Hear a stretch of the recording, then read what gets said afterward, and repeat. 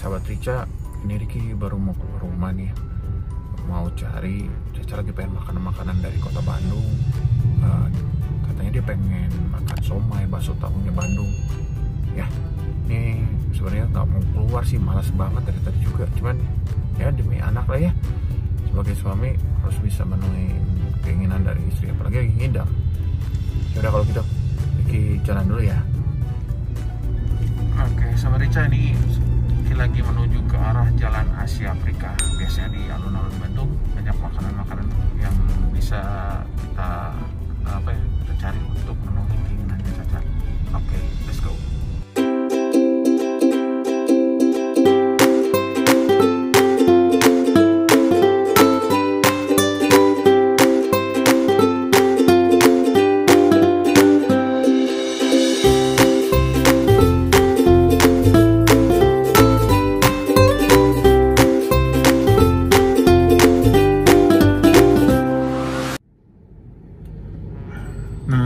Ini salah satu bakso tahu atau somai kesukaannya Caca. Tapi kok sekarang brandnya bukan yang Caca suka ya? Gimana ya?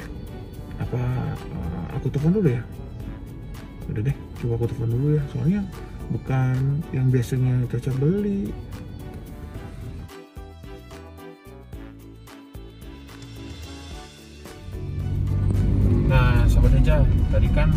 Somai ternyata Cacanya nggak mau karena udah ganti penjual dan brandnya juga.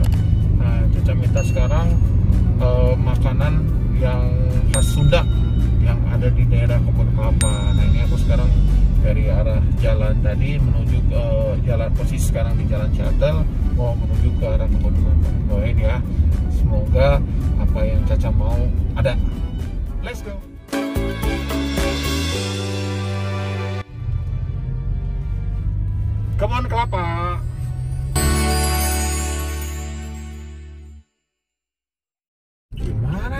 Rica? Tutup nih. Ya Allah, ini gimana ya? Waduh, bener-bener ya. Gara-gara PSBB Kota Bandung, banyak yang belum buka ini. Udah deh, sahabat Rica, aku coba hubungin Caca lagi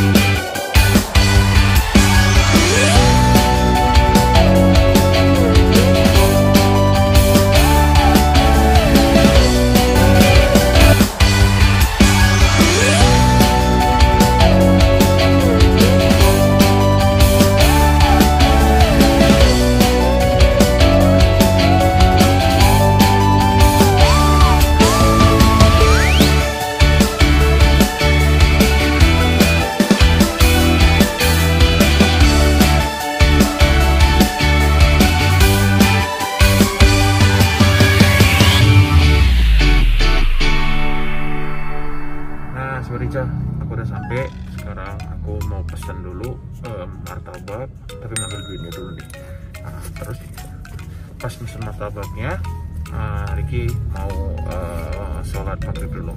Oke, kalau gitu. Nah, ini sama. Oh iya lupa, buat cuci tangan atau hand sanitizer. Oke. Oke kalau gitu kita turun kita pesan martabak buat Caca. Ah, sorry Ca, aku sekarang udah sampai di depan martabak. Ah, Ricky mau pesen dulu martabaknya. Terus habis itu Ricky mau persiapan untuk sholat maghrib. Oke ya. Nah, sahabat Rica nih sekarang Ricky udah beres uh, sholat maghrib ini sekarang lagi membuat martabaknya oh.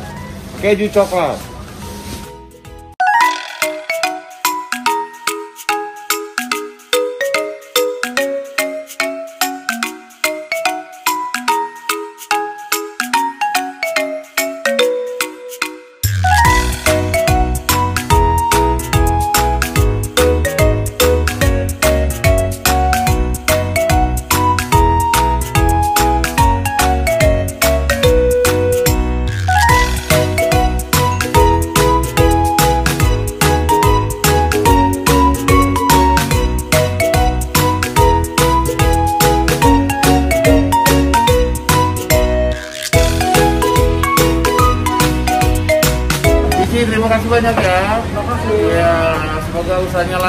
berkat terus. Terima kasih. Sama-sama.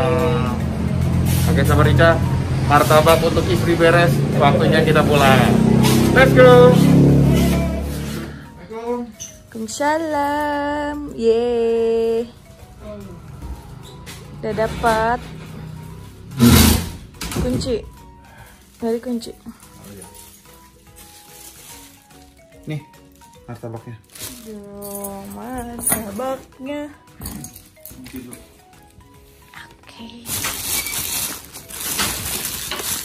Ah. Susah bukanya. Pegang.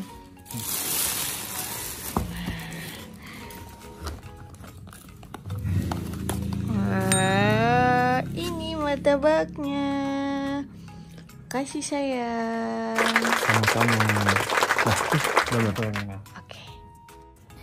Nah sekarang aku mau cobain martabaknya. Aku udah cuci tangan loh ini. Nggak ada tisu ya sayang.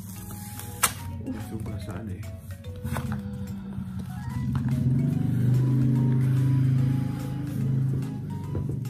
Hmm, aku suka ujungnya.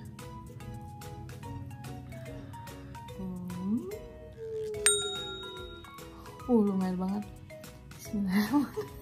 Mau ya? Ntar kamu cuci tangan dulu. Bismillahirrahmanirrahim. Allahumma wa qina adzabannar. Hmm. Hmm. Hmm. Hmm. Mantep. Enak. Enak. Alhamdulillah. Hmm. Thank you sayang. Hmm.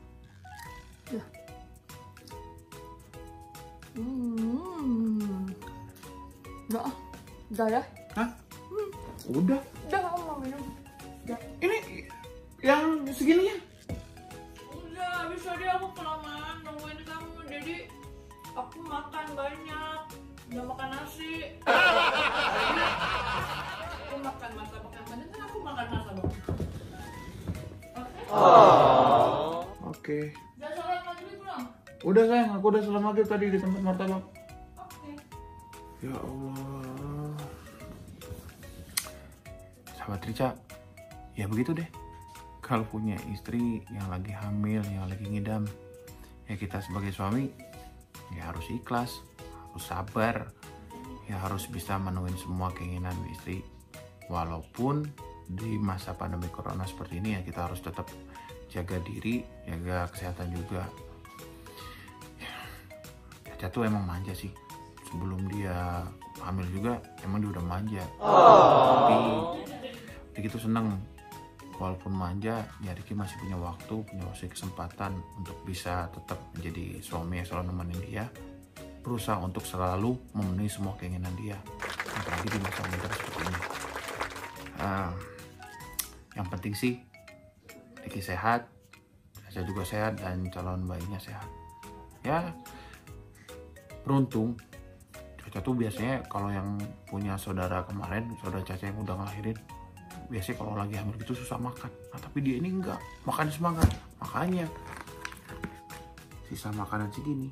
Ini lihat nih sabar Ica harus Ricky habisin. Makanya badan Ricky tambah gemuk sejak Caca hamil. Aduh. Udah deh. SOP-nya habis bepergian harus mandi harus bersih-bersih dan habis itu Ricky mau sholat isya juga. Jangan lupa buat semuanya saksikan terus di sini di sini baik channelnya YouTube Ricky Perdana. Assalamualaikum warahmatullahi wabarakatuh. Nggak sabar nunggu launchingnya baby.